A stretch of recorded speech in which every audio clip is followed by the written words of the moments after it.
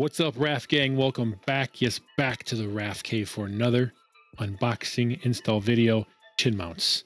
These guys are incredible. They have hundreds, hundreds of chin mount adapters for your helmet, depending on what you have.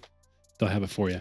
So, in order to get the best quality attachment that's fitted for your your helmet, uh, these guys have specially designed these chin mounts to go on your helmet. So, got to get that. And uh, yeah, don't cheap out, guys, because vibrations and jumping up and down and all that stuff. You don't want a cheap chin mount because then your camera goes flying. You don't know where it's at, and you lost hundreds of dollars. So, I'm gonna do it the right way. Hit that like button, guys. Thank you so much for watching the video. Subscribe and let me know if you got a chin mount or you're going moto vlogging as well. All right.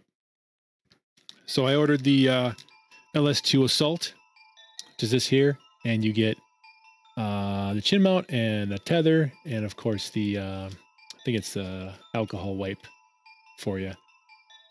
All right, so uh, yeah, let's get this unboxed and uh, install this bad boy on my helmet. So we're gonna open it up. Pretty simple. Yeah, this is definitely the one. So here's here's me trying to cheapen out and get a used chin mount from someone. So I looked at their helmet and it, yeah, it looked pretty close. Uh, but uh-uh. when you look at the grooves on my helmet, this doesn't work. You see how it's it's just flat right there? That doesn't work on here because of this little lip right here, and this little groove. Look at the difference now. There you go. See how it, it dips in in the middle? And it's not flat like this guy. See? Flat, straight down, flat, bent. Little groove in the center. So you look at my helmet. Little dip right here. So when you put something that you think is going to work, only a part of it only a part of it gets stuck. The whole top half of this chin mount doesn't even attach to the top part. Only the bottom. Look at that little gap right there. It's ridiculous. But now the one that's approved for your helmet. Oh yeah. Look at that. Hugs it real good. So you got to find the right spot, of course. Even, oh yeah, that's perfect even aligns with the, the shape of my helmet. See that? You put that on, you want to get it right there in the groove. Bam. Put that V right there. That V is perfect. That's awesome. So, yep, we'll get that on there. So, the way you do it is you want to clean, of course, and that's what they give you the alcohol wipe. Alcohol wipe here, wipe it up, get all the gunk off. And then what you want to do is get a blow dryer handy or any kind of uh, hot air device. As soon as you peel this off, blow dry that sucker. Get a little bit of warm, not hot. You don't want to melt it, just a little bit warm. And then you apply it perfectly. And you take your time, get it centered. It's going to be there forever. Stick it on there, hold it for about 60 seconds, and then let go. But don't put your camera on right away. You want to wait 24 hours, guys.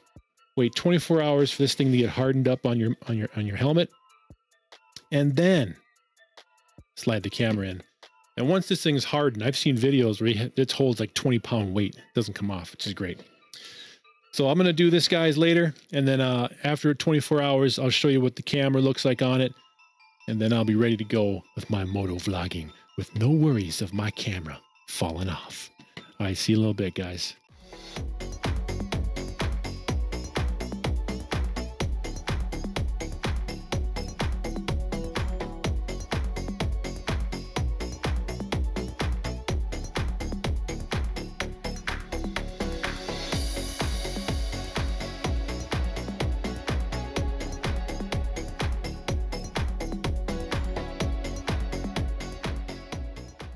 All right, guys, it's on. Beautiful. Perfect. Look at that little groove right there. Hugs the lip of the bottom of the helmet perfectly. Perfect.